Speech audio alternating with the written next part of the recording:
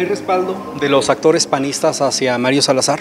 Verónica Pérez Herrera, quien actualmente está encabezando este partido, ¿hay apoyo de ella?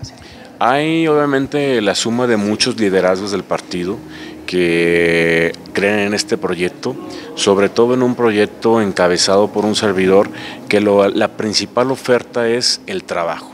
Al menos eh, el haberme desempeñado como secretario general o el haber estado incluso anteriormente como secretario general adjunto, siempre dejé reflejado que lo más importante es trabajar por el partido, ir a los municipios, ver la realidad, ver cuáles, eh, ahora sí que las carencias y sobre todo las áreas de oportunidad.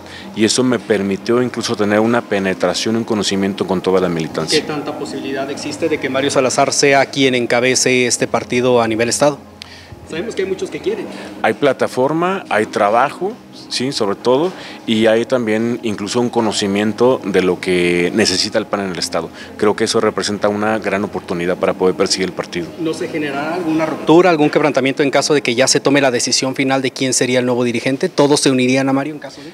Yo creo que aquí lo importante es hacer un llamado a todos, a quienes aspiran a perseguir el partido, a que quien resulte ganador inspire y propicie esa unidad. Que sean maduros. Que haya madurez política, pero sobre todo la firme intención de buscar una coincidencia por encima de las diferencias. Aquí lo importante es ver que, que el PAN requiere estar como una institución sólida para enfrentar el próximo proyecto que es el 2024. Bien, Mario, en cuanto al tema de la alianza, sabemos que van en coalición precisamente aquí en el Estado de Durango y por ello se ganó. Sin embargo, a nivel nacional hay un quebrantamiento. Hay una división porque no ha sido ruptura. Pero en Durango continúan ustedes unidos, hay hermandad, hay amistad, hay, eh, se llevan bien.